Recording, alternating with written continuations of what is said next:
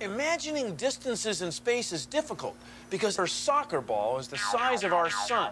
This tip of a soccer ball is our Earth. Two and a half meters from the miniature soccer ball ballpoint pen, this is Venus. Science.